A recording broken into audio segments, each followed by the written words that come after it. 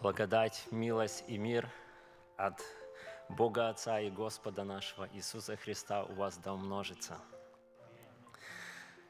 А, я бы хотел сегодня с вами говорить на тему о правде, чтобы а, говорить правду, чтобы по правде поступать. И казалось бы, зачем это говорить церкви, это, эту тему, вроде бы все понятно, ну вот надо э, всегда поступать по правде, всегда правду говорить. Всем это понятно, но я заметил, что в жизни э, э, появляются такие случаи, когда приходится утверждать или доказывать свою позицию в том или ином вопросе. Если когда человек уверовал в Господа, покаялся, принял решение поступать свято, все равно на пути его до конца жизни приключаются разные случаи, разные испытания или искушения. И очень важно, чтобы мы в них устаивали.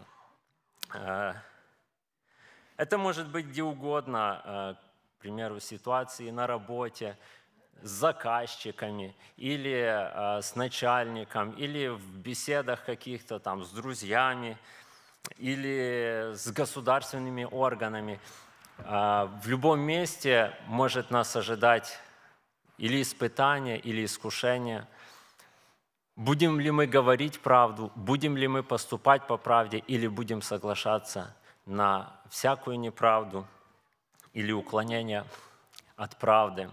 И цель моей проповеди а, заключается в том, чтобы церковь подбодрить, чтобы церковь утвердить в том, церковь это вы – чтобы зажечь вот то желание побеждать всякую неправду. Это бывает э, нелегко, бывают такие искушения и такие испытания, когда а, неутвержденный человек колеблется и бывает падает, когда э, соглашается на всякие неправедные поступки, неправедные дела. Опять же, я, я бы хотел сначала э, сделать как бы определение неправде. Э, я взял два места. Это Иоанна, Евангелие от Иоанна, 8 главе, 44 стих, стихе написано вот так. «Ваш отец – дьявол, и вы хотите исполнять похоти отца вашего. Он был человека-убийца от начала и не устоял в истине, ибо нет в нем истины. Когда говорит он ложь, говорит свое, ибо он лжец и отец лжи. Это слова Господа нашего Иисуса Христа. Еще есть написано во Второзаконии, в 32 главе, здесь уже о Боге нашем написано, 4 стихом. «Он твердыня, совершенны дела Его, и все пути Его праведны. Бог верен, и нет неправды в Нем. Он праведен и истинен. И здесь видно контраст. Откуда исходит правда, откуда исходит неправда. Чтобы кто-то не обольщался, возможно, в каких-то ситуациях, чтобы там достичь какой-то вроде бы благой цели, пользуясь неправдой, чтобы не думал, что это а, методы Божьи что это инструменты Божьи. Но чтобы каждый понимал, что он имеет что-то общее с дьяволом, когда использует вот эти методы. Более того, а, Иисус здесь конкретно уточнил, это, а, опять же, в Евангелии Иоанна 8 глава, 38 стих, а, что те люди, кто поступают так, так или иначе, кто поступает по правде или кто поступает по неправде, он имеет что-то общее и с тем, от кого исходит вот это. Я говорю то, что видел у Отца моего, а вы делаете то, что видели у Отца вашего – то есть Иисус говорил истину, говорил всегда правду. И Он говорит, что это то, что Он видел у своего Отца, это определяет Его как Сына, Отца Небесного, который есть истинен и праведен, и нет в нем никакой неправды. Но те, которые поступают неправедно или делают неправду, или говорят неправду, Иисус назвал, что они делают то, что видели у своего Отца. А Отец лжи есть дьявол. Ну, казалось бы, а, а зачем людям говорить неправду? Ведь это же э, очень э, как бы ну, страшно что-то иметь общее с дьяволом и так дальше. Э, неправда привлекательна тем, что с ее помощью люди думают достичь, э, легче достичь какой-то цели. Ну, этой целью может быть э, или избежание проблем, или избежание какой-то ответственности за что-то, или получение какой-то материальной выгоды, или, к примеру, самоудовлетворение для, ну, к примеру, когда человек выдает из себя больше, нежели он есть на самом деле. Это тоже делается с помощью неправды, и он получает от этого удовольствие, что все считают и думают о нем как-то так, как он себе захотел – и вот в этом есть искушение. А, но я бы хотел, чтобы каждый из нас укрепился в том, чтобы так не поступать, потому что ущерб от неправды намного больше, чем человек думает, он получит от этого пользы. А, есть написано Галатам 6.7, что посеет человек, то и пожнет. Я сказал, что люди думают получить какое-то э, достижение какой-то цели. Думают, потому что использование неправды для достижения каких-то целей похоже чем-то на волшебство.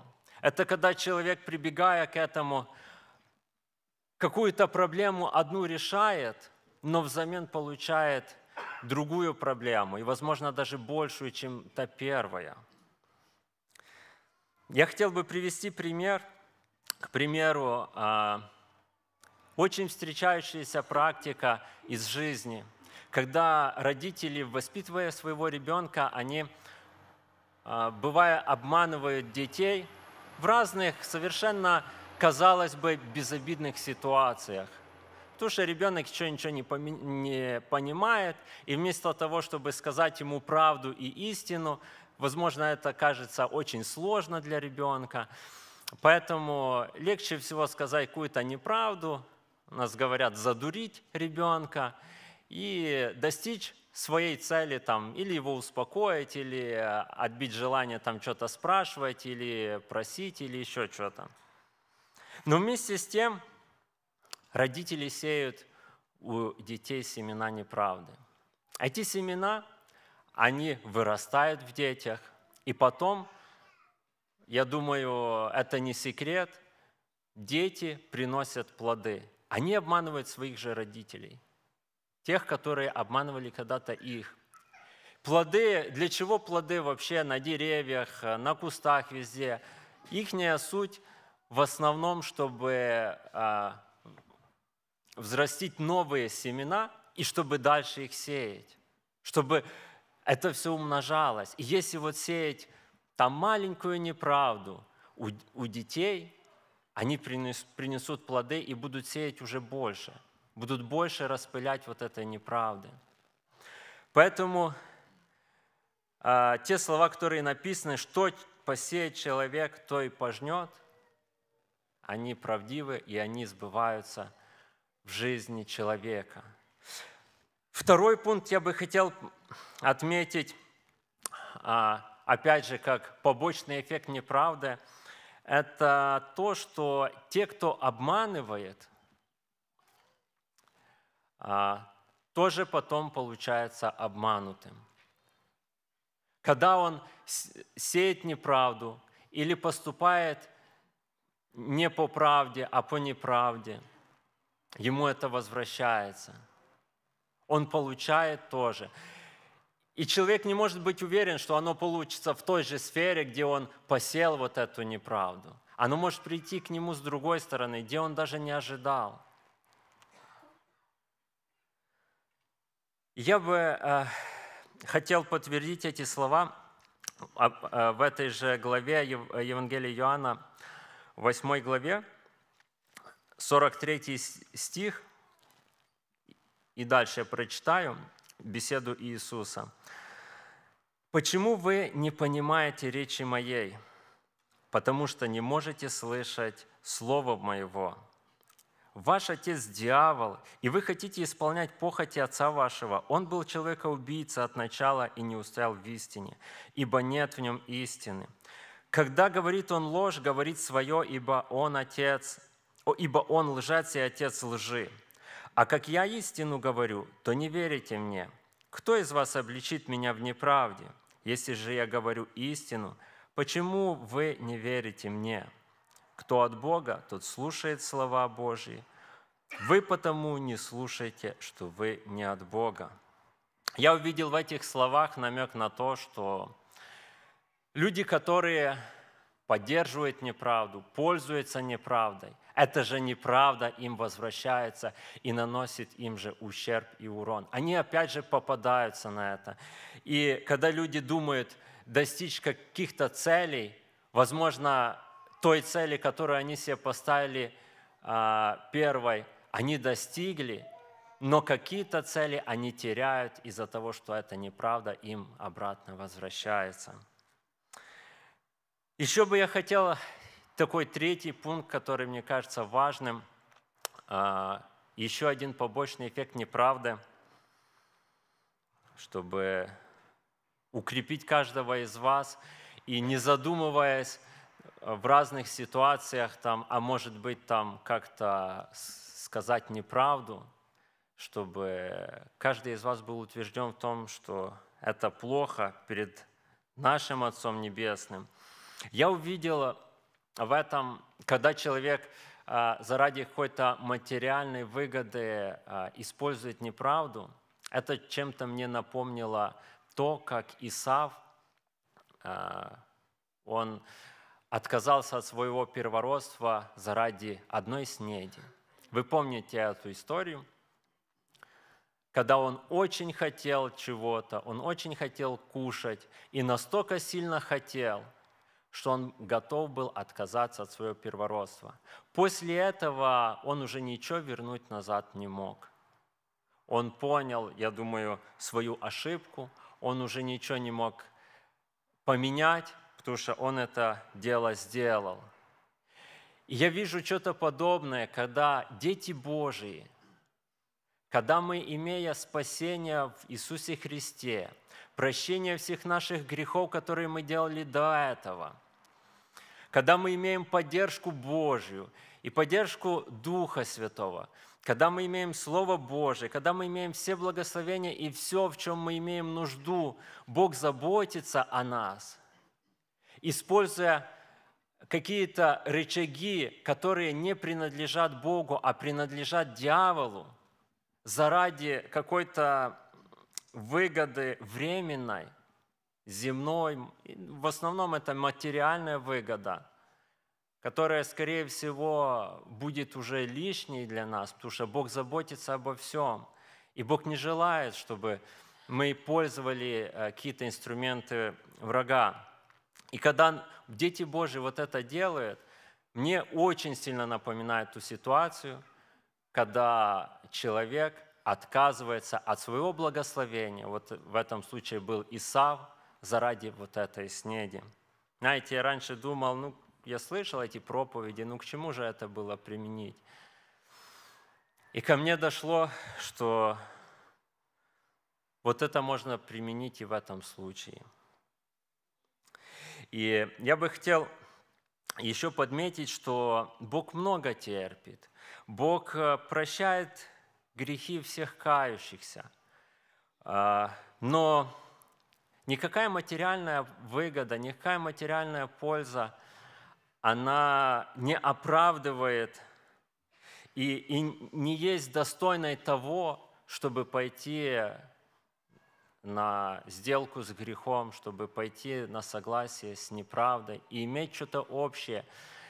Пусть даже если смотреть не э, духовными глазами, что-то общее с дьяволом, а смотреть просто обычными человеческими глазами, иметь что-то общее с теми людьми, которые, пользуясь неправдой, делают очень много беды другим людям, очень много беды делают в мире и так далее, в зависимости от того, какая у кого власть. И здесь везде фигурирует неправда.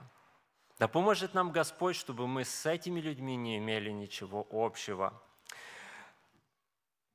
Есть а, написано еще в Иоанна 4, раздел, 4 главе 23 стихом такие слова. Но настанет, Иисус говорит, но настанет время и настало уже, когда истинные поклонники будут поклоняться Отцу в Духе и истине, ибо таких поклонников Отец ищет себе. Отец ищет поклонников, которые поклоняются Ему не только в Духе, но и в истине. И нельзя сказать, что Бог ищет поклонников, которые будут Ему поклоняться в неправдах своих, в каких-то несправедливых делах и поступках они будут пребывать и поклоняться Ему.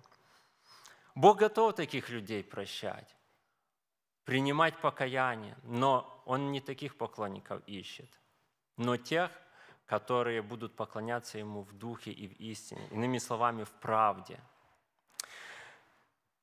Я бы еще прочитал из Луки, э, Евангелие от Луки, 13 глава, 25, э, с 25 по 28 стих. Здесь еще написано такие слова. «Когда хозяин дома встанет и затворит двери, тогда вы, стоя вне, станете стучать двери и говорить, «Господи, Господи, отвори нам!»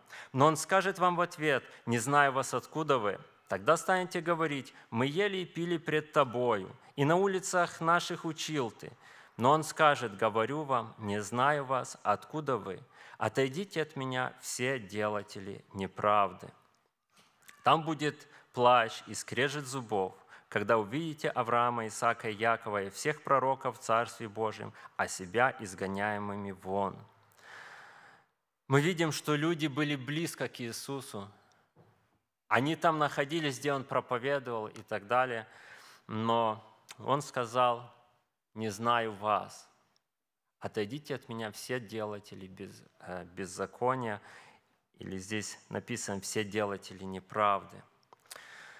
Я хотел бы э, еще рассказать для вашего укрепления в вере э, один случай из жизни, который произошел у меня, ну это было ну, не меньше восьми лет назад, точно уже не помню, э, по этой теме – ну, у меня случаев было больше, но этот самый яркий такой. А, была у меня такая ситуация, когда я ехал с братьями и одной сестрой э, в Киев на служение, и там по трассе э, между Ровно и Житомиром э, были такие ограничительные знаки, как там можно ехать 110, ну тогда, потом а, часто попадались такие знаки 90, 70, 50 пешеходный переход, 90, 70, 50 пешеходный переход. И таких было там несколько пешеходных переходов.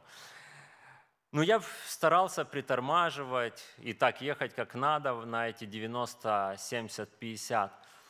Но последний раз я уже устал от, от этого, когда только разгонишься до 110 и опять 90, 70, 50. Я только на 90 пустил газ, на 70, может, еще как-то там прошел, но на 50 я уже точно не проходил, я просто расслабился.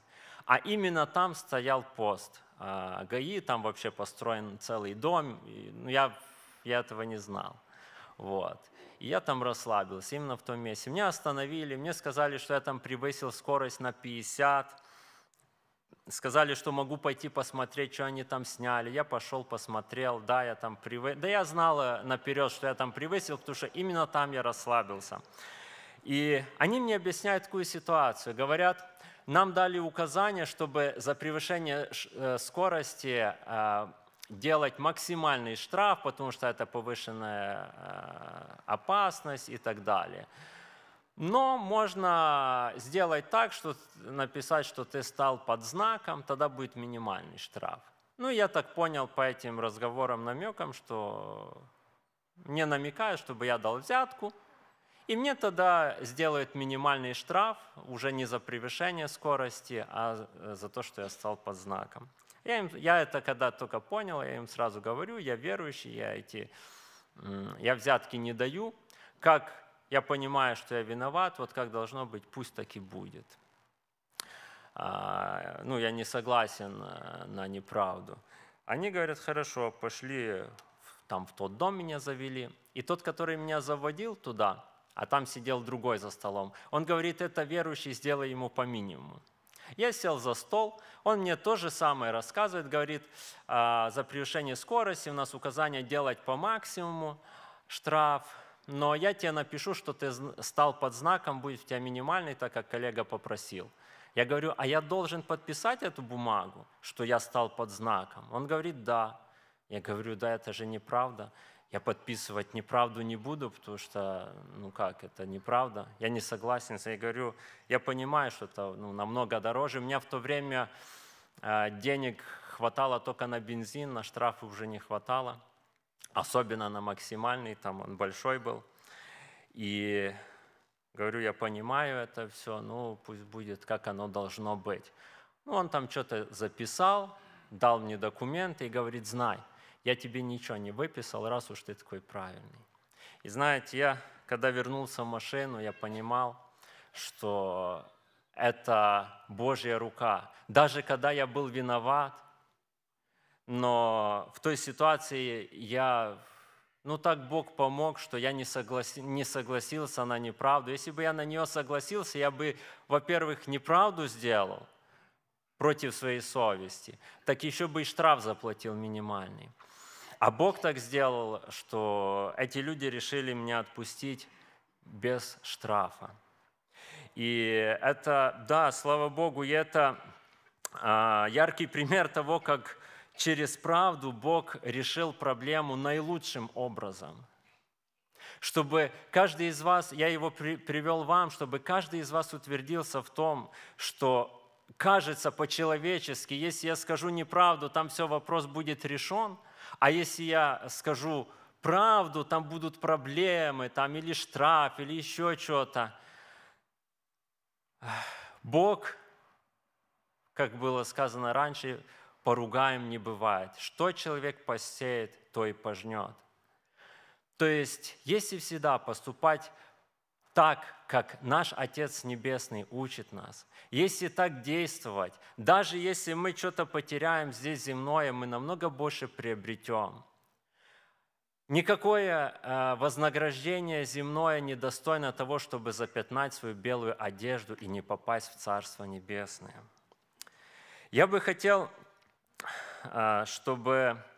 А еще бы хотел напомнить тот пример, когда эти братья Сидрах, Месах и Авдинага, а, они сказали так, что Бог может нас спасти, а даже если не так, мы этому истукану не поклонимся и твоим богам служить не будем. То же самое и здесь. Даже если а, именно в этой ситуации там, сказал правду или поступил по правде, тебе придется понести какой-то ущерб материальный. И Бог это не покроет, как получилось в том случае, о котором я засвидетельствовал. Но даже если и так, то мы все равно не поклонимся этому идолу. Пусть Бог поможет, чтобы мы утвердились так, как вот эти три брата, чтобы мы были готовы а, заради Божьего дела, заради Божьего Слова, заради истины, заради правды, быть готовым понести любой ущерб, но чтобы не пойти на сделку с грехом, чтобы в этом устоять. И как Иисус сказал а, еще а, в Евангелии от Иоанна, 14 главе, я бы хотел, чтобы каждый из нас мог точно так же сказать в конце своей жизни. 14 глава, 30 стих. «Уже немного мне говорить с вами, ибо идет князь мира сего, и во мне не имеет ничего. Это Иисус сказал под конец своей жизни на земле. Он прожил так жизнь, что князь мира сего, то есть дьявол, он ничего в Иисусе не имел, никакой зацепки. Пусть поможет нам Господь, чтобы и у нас не было никакой зацепки, никакой неправды, за что может Он зацепиться, за что может тянуть нас к другим грехам, к другим вещам, которые нас еще больше могут отдалить от Бога. Пусть у нас ничего такого не найдется. Да благословит всех вас и меня в этом Господь.